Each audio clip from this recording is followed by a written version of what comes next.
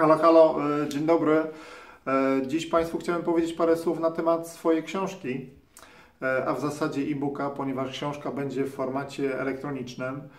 Książka w zasadzie jest już napisana, teraz weszła w fazę jakiejś korekty, edycji tekstu, jakieś tam może drobne poprawki, jakieś drobne literówki jeszcze trzeba będzie po prostu w książce poprawić. Książkę Państwo będziecie mogli pobrać, pod moimi filmami będą po prostu linki i będzie po prostu można tą książkę pobrać. Tak jak wspomniałem, książka jest w formacie e, elektronicznym.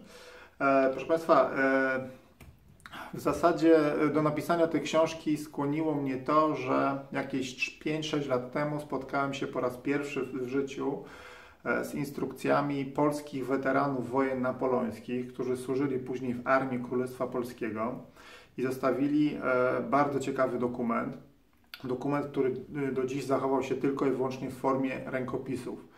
E, ten dokument e, później został wydany drukiem w latach późniejszych, e, troszeczkę zmodyfikowany, troszeczkę bardziej rozbudowany, ale w zasadzie możemy mówić o pierwszym, pierwszym takim dokumencie archiwalnym, który pokazuje i najwcześniejszym też jednocześnie, który pokazuje, jak należało szkolić i jak należało walczyć za pomocą szabli wojskowej w armii Polski. Proszę Państwa, w tamtym czasie pamiętam, jak miałem to w rękach, pomyślałem sobie, kurczę, no mam coś wyjątkowego, prawda? Nikt na ten temat w Polsce nie napisał żadnej książki. E, nikt, e, w zasadzie temat jest całkowicie zapomniany. Instrukcje przeleżały się w polskich archiwach wojskowych 200 lat. E, najprawdopodobniej leżałyby kolejne 200 lat. No, szczęściem, szczęściem trafiły na mnie. I, i, I postanowiłem po prostu na ten temat napisać E, książkę. E, pokazany tam fechtunek w, w dosyć, e, bym powiedział, istotny sposób zmienia troszeczkę nasze myślenie o fechtunku dawnej Rzeczypospolitej. Żołnierze napoleońscy byli ostatnimi żołnierzami, którzy w praktyce stosowali techniki staropolskiego fechtunku, stosowali też techniki sztuki krzyżowej, którą dzisiaj po prostu niektórzy tak nazywają. Także moim zdaniem książka i te materiały no, stanowią swego rodzaju jakąś, jakąś bym powiedział, nowość i no, są totalnie, tak jak wspomniałem wcześniej, e, zapomniane. E, do, co mogę powiedzieć jeszcze o samym, e, samym instruktażu? No instruktor w zasadzie krok po kroku pokazuje, jak szkolono polskich żołnierzy w latach 20. XIX wieku w Królestwie Polskim.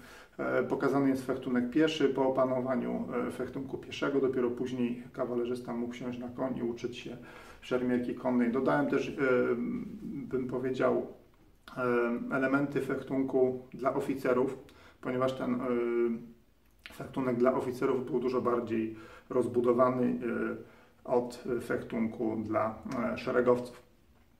Co mogę jeszcze powiedzieć? No zależało mi przede wszystkim na tym, żeby e-book był jak najbardziej napisany przystępnie dla, dla Państwa. E-book jest napisany wczesną, staropolszczyzną XIX-wieczną. E, no i co? No są, jest kilka tam takich słówek, które w zasadzie dla przeciętnego e, dzisiejszego współczesnego odbiorcy no, mogą stanowić jakąś tam zagadkę, prawda? No, kto dzisiaj tam bez słownika staropolszczyzny będzie wiedział, e, co znaczy słówko gifes na przykład, prawda? Dlatego to jest generalnie praca na tekście, prawda? Czyli mamy na przykład XIX-wieczny tekst i pod moim, pod XIX-wiecznym tekstem są moje komentarze językiem jak najbardziej współczesnym i starałem się pisać te komentarze jak najbardziej językiem prostym, komunikatywnym i zrozumiałym. E, żeby też zrozumieć w pełni też e, te instrukcje, dodałem około 100 grafik i rysunków pokazujących techniki, prawda? Jakieś tam zasłony, postawy E, żeby każda osoba, która po prostu przejrzy i nawet nie ma jakiegoś większego pojęcia o e, szabli i o fechtowaniu, będzie mogła po prostu miała pojęcie, będzie mogła mieć pojęcie ogólne, jak po prostu e, w tamtych czasach za pomocą tej szabli fechtowano. Zależało mi też na tym, żeby, tak wspomniałem wcześniej, żeby e-book był jak najbardziej przejrzysty, jak najbardziej przystępny dla współczesnych ludzi. W sumie e-booka przeczytało około 4-5 osób do tej pory. I tak, czytała to osoba, która ma dosyć spore pojęcie, jeśli chodzi o dawny fechtunek wojskowy szablon. I w sumie powiedziała, że chyba się prościej nie da napisać. Ale też e, czytały, e, czytały tego e-booka osoby, które e, no, o historii, o wojskowości, o fechtunku nie mają żadnego pojęcia.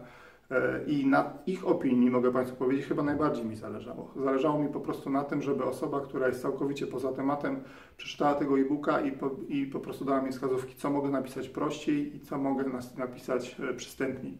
I o dziwo, tych wskazówek nie było Bóg wie jak ile. Także, e, także no, wydaje mi się, że ta praca się w jakimś sensie udała. E, co mogę jeszcze dodać, jeśli chodzi o, e, o e-booka? E-book w zasadzie, mm, w zasadzie dzisiaj Państwu pokażę okładkę tego e-booka i pokażę może jakiś tam screen, który pokazuje mniej więcej, co tam w tym e-booku jest. E, jeżeli Państwo jesteście e, generalnie też zainteresowani jakimiś pytaniami do mnie e, na temat tej książki, no to proszę śmiało pisać w dziale no, komentarze pod filmikiem. Ja później te pytania od Państwa zbiorę i za jakieś 3-4 dni po prostu odpowiem na te, na te pytania Państwu. Także proszę śmiało pytać o cokolwiek, jeżeli macie Państwo jakiekolwiek pytania odnośnie tej powstającej książki. E, co mogę powiedzieć więcej? Generalnie w drugim e, zrobię jeszcze jeden taki odcinek e, promocyjny na temat tej książki, bo generalnie książka nie jest tylko i wyłącznie o fechtunku. Generalnie zależy, zależało mi też na tym, żeby hmm, książka pokazywała całą epokę i pokazywała, jak żyli żołnierze, kawalerzyści w, w latach dwudziestych, nie wiem, trzydziestych w Królestwie Polskim. E, chciałbym też pokazać e, elementy e, szkolenia, chciałbym też pokazać elementy służby, prawda, jaką służbę lubili, jakie służby nienawidzili. Chciałem też pokazać na przykład ich ćwiczenia. Chciałem też, żeby każdy też przez chwilę poczuł się, poczuł się chociażby jak taki młody rekrut, który jest na placu ćwiczeń, ponieważ no, tak napisana jest ta książka, prawda? Jest w formie y, po prostu instruktarza, no i tam po prostu instruktor wydaje polecenia i szeregowy no, musi po prostu te y, polecenia y, wykonać. Także, także generalnie chodziło mi o to, żeby oddać jakiegoś ducha epoki po prostu tamtego czasu, żeby oprócz instruktarza też po prostu to była forma jakiejś literatury historycznej, prawda? Żeby, żeby to nie była tylko i wyłącznie instrukcja, tylko żeby to była pełnoprawna książka historyczna, oparta o źródła, oparta o tekst, bo w zasadzie wszystkie, e, wszystkie e, powiedział, rzeczy zawarte w tej książce są poparte tekstami źródłowymi, prawda? Jeśli chodzi o E, tą książkę, to w zasadzie jest, e, jest, jest napisana na podstawie około 20 pamiętników polskich weteranów e, z okresu powstania listopadowego i kilka też pamiętników z, okresów, z okresu wojen napoleońskich.